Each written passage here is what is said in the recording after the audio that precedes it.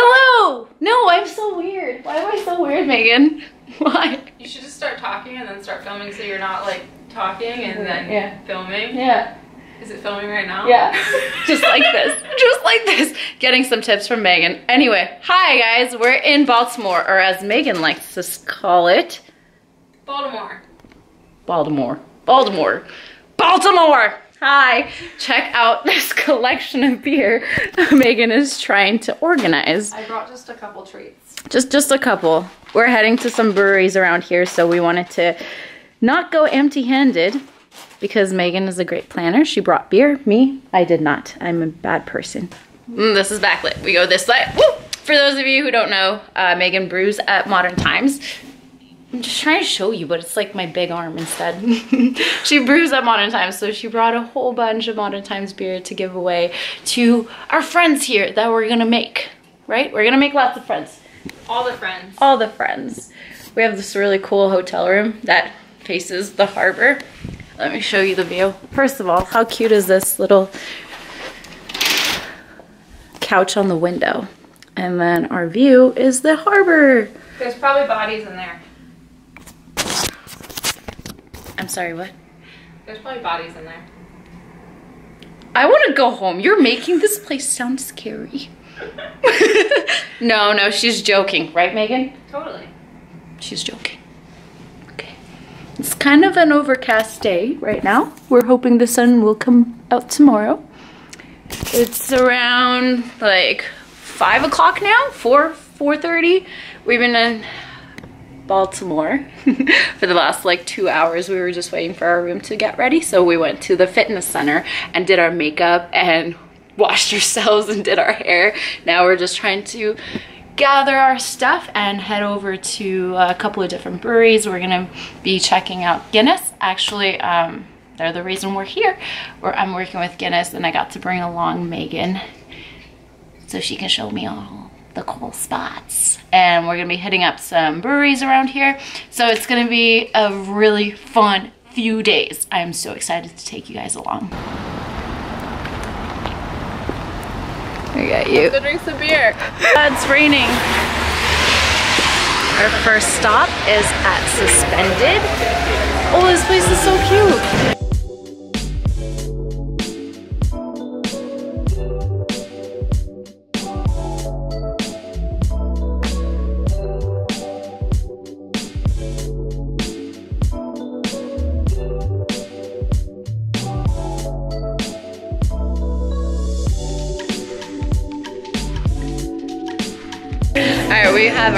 Beer at Suspended.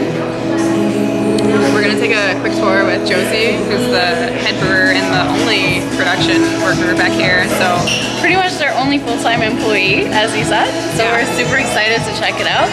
What beer are you drinking? uh, it's a Lorien. It's a oak fermented English mild. I was not reading the board. what do I have? It's a barrel-aged something. What was I it? didn't Abbey Double? Yeah. Is that how you pronounce that? Double. Double? Yeah. Double? And I started out with a 9% beer like the smart lady I am. What's yours, like 3 or 4%? Um, something, something pretty. Uh, Light and sessionable. Yeah. Smart people. Yeah, well, let's get our tour started. Cheers. So on the cellar side, we're five barrels. On the hot side, we're two and a half barrels. Um, it's funny, we're actually getting a new right tank on Monday. Um, so it's two barrel working capacity, but it's 80 gallons. So uh, essentially, I'll be able to carve up like a little under two and a half. And how long have you guys been open for? We're about to celebrate a year in March. Okay, Josey, what are we drinking? West Coast IPA. On the East Coast. Can't even find these on the West Coast anymore. Cheers. Thanks for having us. So good to have you. Are we drinking all the same thing? Yeah, Yeah. we're all drinking the same thing. It's a hybrid. Uh, I guess it's a hybrid pour. So we have wonderful friends that make wonderful fermented products, Hex Kombucha. Oh, I guess Hex Ferments, and then this is their kombucha. It's a ginger kombucha, and then we mix it at the tap with uh, our wit beer.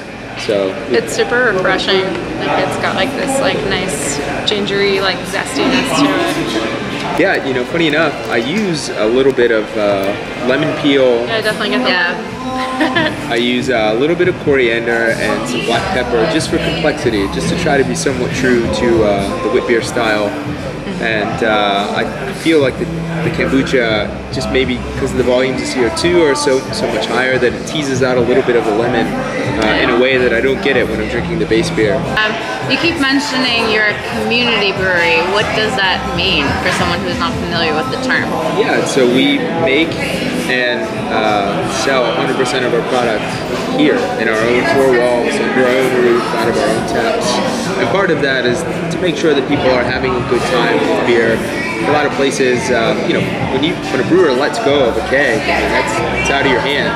Uh, unless maybe you have a wonderful distributor who treats the beer really well and is really going into each account and making sure the beer is handled properly and that draft systems are cleaned properly and glassware is proper and there's no noxious detergents or odors or lipsticks or lip gloss or anything on the glass.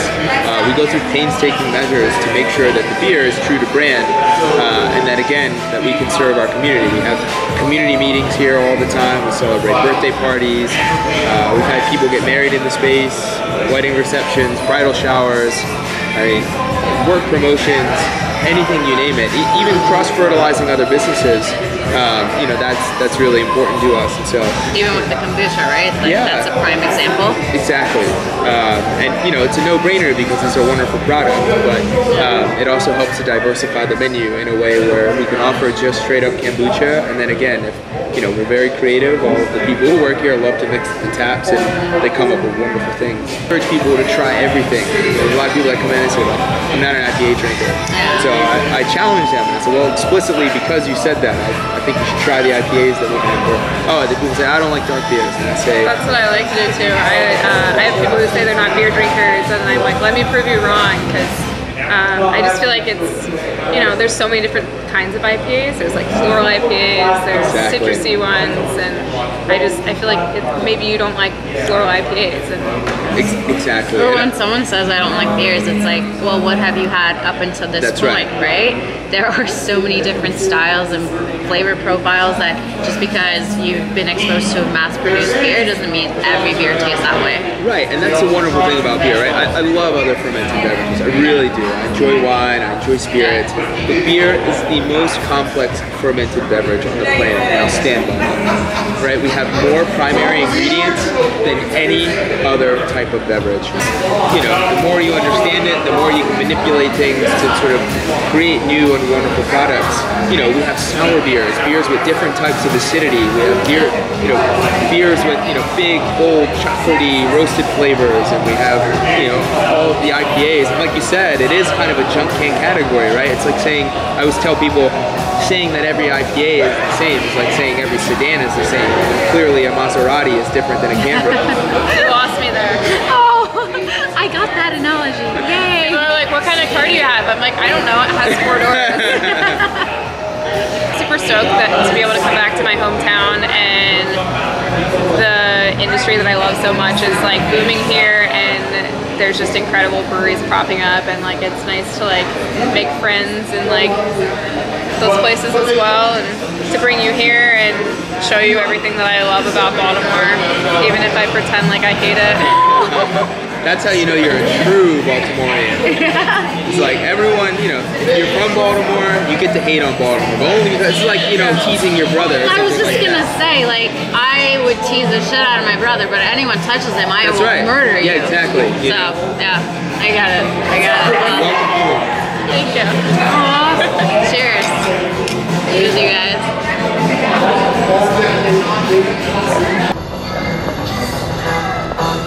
Want to order everything on the menu.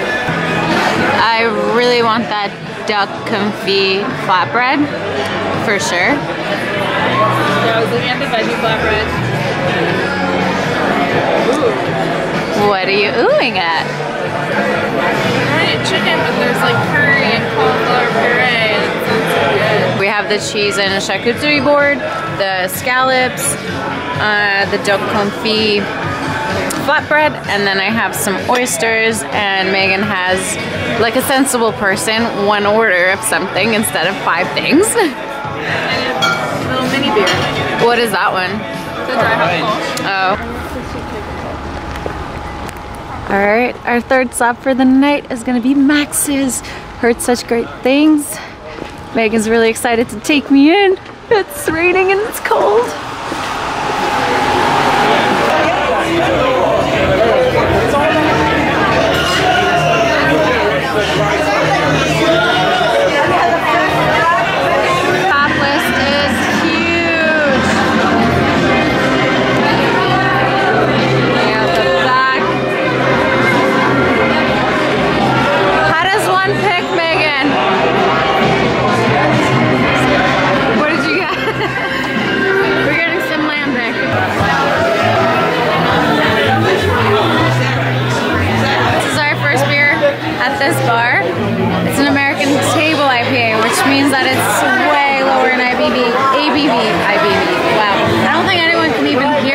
This point. It sits at 3.8%.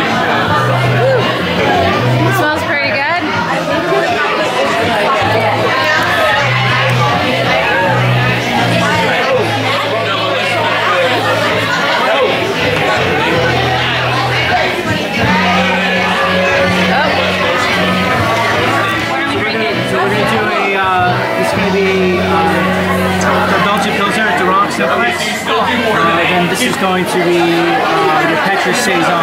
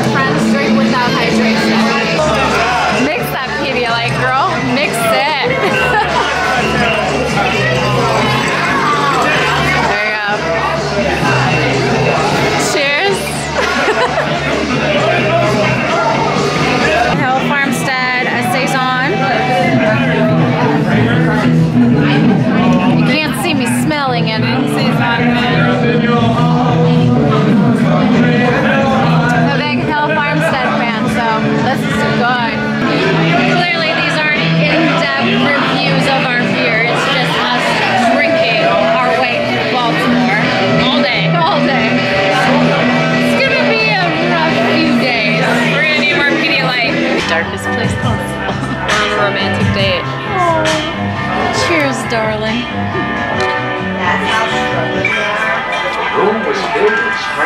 So we are at a place called the Elk Room. It's a speakeasy kind of cocktail bar, and the outside it's a blank black door. Like there's no signage or anything like that, and it's attached to a restaurant group, right? That's what. Yeah, it's called like Aglatelli. Oh, the straw in your face is Enormous straw. So um, it's kind of hard to figure out where it is if you've never been because there's no sign outside. It's just a black door. And there's like a little bell you're supposed to ring. Maybe? I don't know. We just opened the door and walked in. And the decor is really nice. It's just really dark so you can't see much. Um, what was your drink called? Uh, Polaris. Laura's, and I got the Tiger 10. Oh, that's my water. This is my drink. It's supposed to be like a gin-based drink with coconut and orange, but it's not as flavorful as I anticipated it to be. It's kind of okay. I liked yours a lot better. Yeah, mine was more like warm with uh, spices. I really enjoyed my drink. Yours is really good. Oh, hello. We're back in our hotel room. I got my new hoodie or crew neck sweater from Suspended. We had such an awesome time there. I would totally be wearing my sweatshirt too, but I don't want to twin with you right now. that would be weird. we would be matching, but I think for our first night, we did a really good job. We didn't get too drunk, so we can have a good day tomorrow, not wake up hungover. We went to Suspended, Uh-huh. um, Max's. Max's. We went to Guinness to have dinner. I ate half the menu myself. I was hoping Megan would help me, but I eat meat and she doesn't, It so was gone before I could blink. So. I was hungry. Uh, and then we ended up at the Elk Room, which is a nice, cool little speakeasy. Actually, it's not little, it was the biggest speakeasy I've ever been to. Mm-hmm. Not to make it sound like a gigantic place, but usually, like, places like that are super small. This had quite a big space and it was really interesting. We had some cool drinks. Now it's 1.30 a.m. We're exhausted. We've been up since 4.30 our time. Ready for bed? Now I'm gonna take my face off and try to sleep. And Just gonna peel that face off like that. If you like this video, please like it. It's supposed to help us out a lot. And if you want to see more, subscribe to this channel and definitely check us out on Instagram is Beer Carb, the girl with beer. You'll see all our travels and extra footage there, the things that didn't make it into this video. Thanks for watching. Bye. bye.